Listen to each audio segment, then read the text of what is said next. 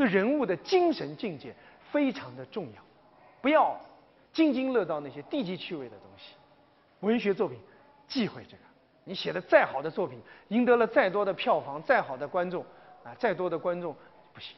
哎，就像那个呃崔永元批评这个冯小刚。好像表面上看这个，呃，他好像什么有一说一，说到那个崔永元原来的实话实说，他们两个人是好朋友闹掰了，崔永元就质问冯小刚一个问题，冯小刚就很聪明就逃过去了，他没有办法回答。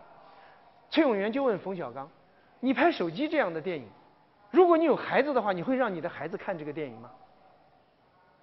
不想了，他不想了，是不是？他说：“我有女儿，我是不会让我女儿看手机的。”而且这个手机也不能让我女儿看，因为它会毒害孩子的心灵。那么你自己没孩子，啊，或者说你不让你自己的孩子看，你让别人的孩子看，你这个用心何在？是不是？哦，你一个作品拍出来，别的都不要说，挣了赔了，好了坏了，咱们都别争。你摸着良心说，你会让你的孩子去看吗？你连你的孩子都不敢面对，你还面对谁呢？冯小刚不想。他就吃了个哑巴亏，他就说崔永元就说了很很那个严厉的话，就说你站着口水数钱的时候，你想想看，你自己的孩子不能看，你让别人的孩子看，你这不是毒害社会吗？不想了，他不想了啊。所以一个作品简单的标准，你敢面对你的父母吗？敢面对你的孩子吗？敢面对你的亲人朋友吗？你如果问心无愧，那好了。那你就堂堂正正的站在这儿了，可以可以谈谈文学了，否则的话你不要谈，哎，就谈别的了，所以是这样的。好，这里面我们话题转过来，就是在谈到这个一个作品啊，如果我们要写一部大的作品，我们还是回到这个人物上来，一个大的作品需要什么呢？需要大的时间和空间。我举一个例子来讲，《霸王别姬》这个电影，我很不喜欢。里面有一点儿，怎么说？有一点儿，我说的严重一点，有一点汉奸情绪。它有个细节，我看了非常生气，就是说，一些革命青年在那里喊打倒日本帝国主义，然后有一个好像这个陈蝶衣啊，这是京剧演员，他们从楼上下来，就是英达演的那个人，啊，就瞎闹什么呀？你们懂什么呀？啊好像他们很高明，他们是搞艺术的人。那些热血青年都很傻，在那儿喊打倒日本帝国主义。就这一幕镜头，我认为把他整个电影毁完了。这个电影就基本上就就毁了，彻底毁了。因为他在观念上就就反过来了。哎，这个陈凯歌当面我也可以质问他，这是什么情绪？这是一种汉奸情绪，这是明摆着的。人不能这么想问题。但是我们把它作为一个文学作品来讲。他获得了成功，他成功的秘诀在哪里？他成功的秘诀就是他找到了一个时空上的一个大的扩展。什么样的时空大的扩展呢？首先，《霸王别姬》是不是？《霸王别姬》就是楚霸王是吧？刘邦、项羽的故事，啊，这个四面楚歌的故事，不用讲了。这个是中国历史上特别悲壮的一个故事，但是它不是就故事论故事，它把《霸王别姬》的这种情怀，这个故事反射到了一个抗战时期的一个京剧演员，两个相爱的男人的身上，是不是？陈蝶衣演的那个呃虞姬和那个那个谁演的那个呃演的一个。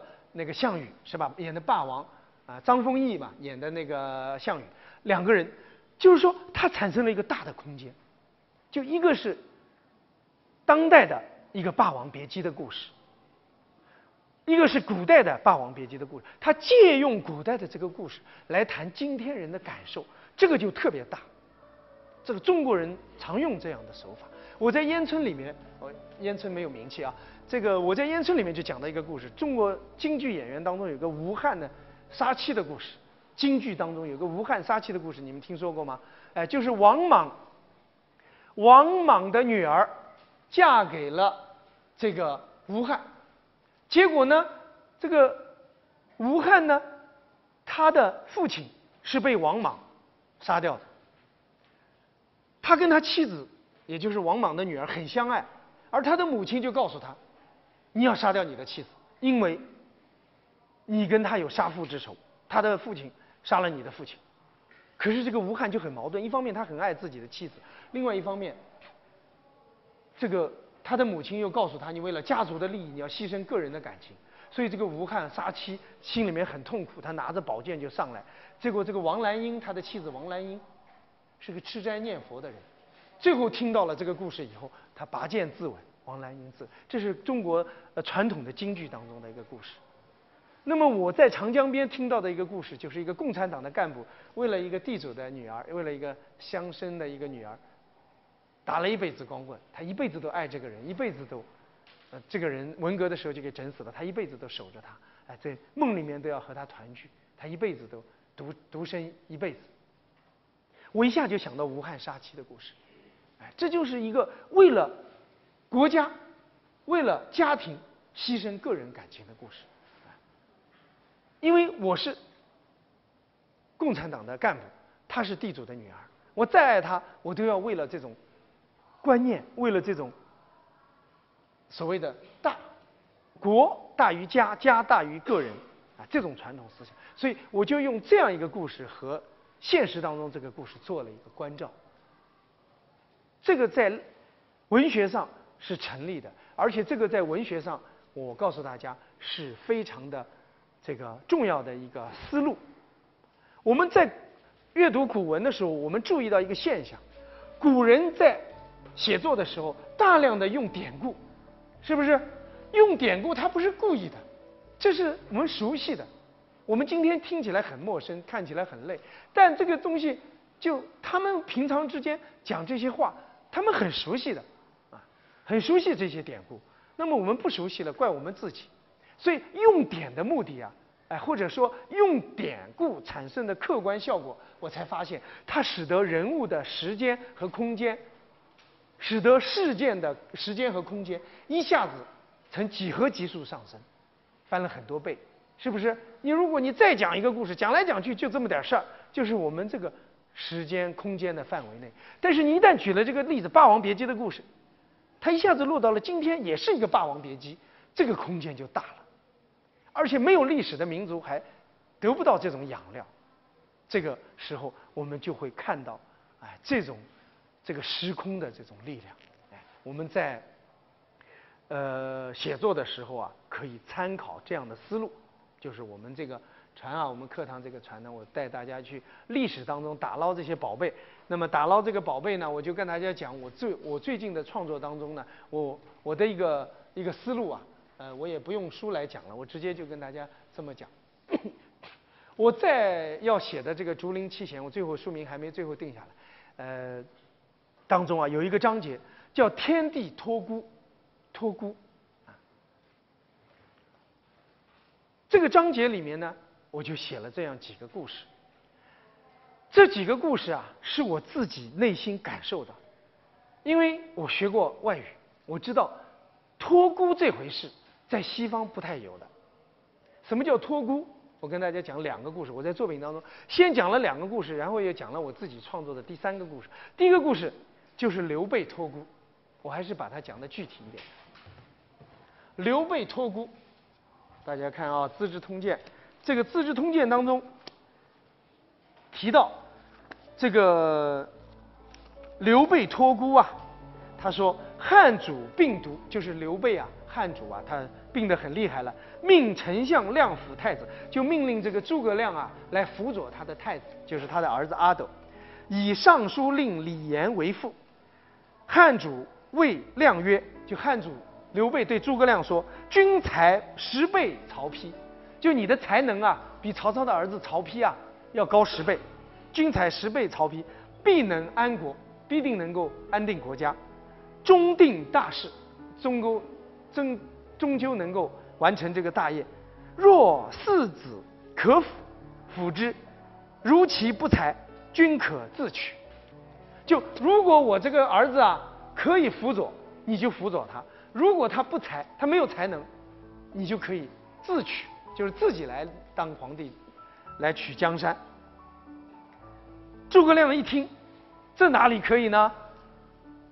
诸葛亮泣涕泣曰：“就哭着说，臣敢不竭古洪之力，效忠贞之节，继之以死。就我哪里敢不竭尽全力，拼尽全力，哎，鞠躬尽瘁，死而后已呢？我一定要辅佐这个刘禅，也就是这个阿斗啊。这个时候，刘备就跟诸葛亮讲完了，汉主又召。”太子曰：“就把太子把他儿子找过来了，说：人五十不称天，啊，就是说，哦，对不起，人五十不称妖，就人活了五十岁就不算是夭折了，不算是短命了。人五十不称夭，啊，五年已六十有余，我已经活了六十多岁了，啊，何所负恨？还有什么遗憾的呢？我都六十多岁了，啊，没什么遗憾的了。”但以亲兄弟为念耳，就是我唯一放心不下的就是你们兄弟了，啊，勉之勉之，你们要勉励共勉啊啊！勿以物小而为之，勿以善小而不为，这就是刘备的名言啊！不要以物小而为之，不要以善小而不为。为贤为德，可以服人。汝父德薄，就你们的父亲啊，这个德啊很薄，功德啊。微薄，不足效也，就不足以效仿。如与丞相从事，视之如父，就是你要跟着诸葛亮，丞相去做事情，要把他当成父亲那样去侍奉。啊，夏四月，癸乙，汉主啊，这个崩于永安，就是四月份啊，这个刘备就去世了。这是详细的记录的一个托孤，刘备托孤。因为我去了白帝城很多次，我对刘备托孤啊感触很深，我就觉得刘备托孤，托的是一个什么？托的是一个江山。中国人啊，自古以来啊，就是皇帝死了，很大的一件事情，我把江山给谁？这个是最重要的。那么下面有一个，也是在这个这个《资治通鉴》当中记的。很重要的一笔，就是这个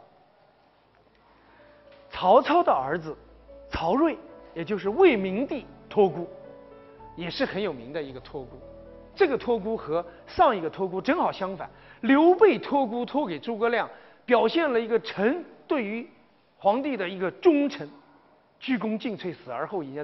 诸葛亮写了后来《出师表》，啊，这个这个就传为佳话，这就不用说了。另外一个托孤是反过来的，曹操的儿子啊，跟刘备的儿子也差不太多，这个没有不像他们的父亲，严重有问题。他托孤啊，他不放心，他一个养子叫曹芳，才八岁，他把这个曹芳托给两个人，托给一个司马懿，一个曹爽。结果呢，简而言之，这两个人就是死敌。曹爽掌了大权，司马懿装病。最后，司马懿突然在曹爽去这个扫墓的时候，突然发动政变，把曹爽一家人全杀光，最后篡了权。这就是曹睿明帝托孤的下场。但明帝托孤写的非常好，历史上记录的非常好。他说：“一日入见，就是禁书上也写了。我先把这个故事跟大家讲。就司马懿啊，他去在外面打仗，突然有一天做梦。”梦见这个明帝啊，就是这个曹睿啊，说你快过来，我要见你。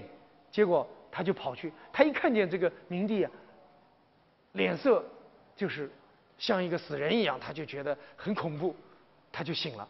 结果醒了以后，果然就接到这个明帝的五道诏书，一天之内接到五道诏书，叫他火速赶回皇宫。他赶回洛阳，见到了明帝，明帝就跟他讲了，就说。拉着他的手说：“吾以后事主君，就我把后事交给你了。君与曹爽辅少子，让你和这个曹爽啊一起来辅佐我的小儿子，那是他的养子，叫齐王曹芳，芳香的芳啊。死乃可忍，吾人死待君得相见，无所负恨矣。就死都可以忍，但是我不能够不见你。我忍着死，我都不死，我死要见到你。”我再死，就是忍见到你，我已经放心了。就是你呀，看好了啊，就是那个孩子。他指着这个孩子曹芳，结果孩子就跑过来抱着他的脖子，司马懿就把这个孩子抱起来了。然后明帝临终以前说：“你不要忘了这个少主的这个亲情啊，你不要忘记少主今天对你的这种亲情啊，就是这种感人的亲情啊，就是说，呃，这个小曹八岁的小男孩抱着你的脖子，你将来不要忘记这一天。”这个是记录的很详细。最后。托孤完了以后，曹睿就闭眼了。结果这个司马懿装病，最后把曹家一家人杀光，串了圈。想想看，这个司马懿是什么人？是什么人？啊？所以非常的深刻。那么我就写到这个托孤，我就发现这个历史上这两个镜头啊，非常的有象征意义。它包含了我们中国人很多的家仇国恨，这种人与人之间的情感。简而言之，曹爽是个傻瓜，他掌握了大权之后，拼命的把皇宫里面的什么珍宝啊、什么古玩啊拿来玩，把这个皇帝原来的这些歌姬啊、美女啊招到他的宫廷里面，大兴土木享乐，就跟现在那个贪官污吏似的，有点儿有点机会赶紧就充分享乐，过把瘾就死。曹爽也是这样，就是过把瘾，哎，最后司马懿装病。装成了，最后他们去谒陵的时候，突然把这个桥就断掉了，哎，把这个落把这个浮桥断了以后，发动政变，哎，最后曹爽傻乎乎的回来了。他说，司马懿写了一封信，说你只要回来，就让你当一个富家子弟，保证不杀你。回来就把他杀了。司马懿说，我指着洛水为誓，指着洛河的水发誓，回来不杀你，哎，我保回来就把他杀了。这个，所以一个人啊，一件事情啊，要指着天指着地发誓，这个人往往就不可信。我告诉大家，不可信。真正可信的人，他不发誓，因为这个做人要讲信誉，这是本来的做人的基本道德。有什么发誓的？我说好的事就要算数吗？我对天发誓的人都靠不住。司马懿指着洛水为誓，所以这个人是什么人？我认为中国呃文化当中很多病毒啊，都是从这儿传下来的。这种为达目的不择手段、杀人越货，这种狡诈、这种装、这种，我我觉得这个人很可恶。简而言之，我就看到了托孤，对我特别有启发。托孤啊，我写了刘备的托孤和曹睿的托孤这两个故事之后。我笔锋一转，写到竹林里面，我就发现竹林七贤，像山涛、像阮籍、像嵇康，这三个人有记录的，他们都是就是少孤。中文当中少孤啊，就是幼年丧父，从小就没有父亲。那从小没有父亲，他们就很孤单，对他们的性格也有影响。所以我就有产生一个。一个灵感算是，我就觉得他们也是孤儿，但是是天地托孤，也就是说，天地把这些孤儿托给了人间。如果说曹芳是曹睿托给了司马懿和曹爽，阿斗是刘备托给了诸葛亮，那么竹林七贤是什么人托给什么人呢？是天地托给人间的，理解吗？也就是说，这些皇帝托孤为了什么？为了他们继承江山社稷，为了他们继续当皇帝，传的是江山。还有一个更大的托孤，天帝把这些有理想的人拖到了人间，让他们干什么？让他们完成天赋使命。天赋使命，就像哈姆雷特一样的。哈姆雷特的父亲死了，告诉他干什么？你要拯救国家，扭转乾坤。所以我就写了天地托孤。这个竹林七贤就发现，武备啊。奉天地的使命，就是天赋使命。我们应该在这个世界上应该怎么样？我们应该怎么活？我们在竹林里应该怎么办？于是他们就想到要弹琴，要唱歌，要留下正义的声音，留下在天地间堂堂做人的光辉形象。这是我的一个思路，就是说他们超越了前辈，因为封建帝王只想着家族的江山。只想着当皇帝传江山，我传给我的儿子，儿子传给孙子。可是竹林七贤他们这种天人有这种天人合一的思想，有这种天赋使命的这种情怀、使命感，使得他们做一个堂堂正正的人，在中国历史上，就是他们才是真正的值得尊敬的人。让我们去思考，让我们去学习。好，下课。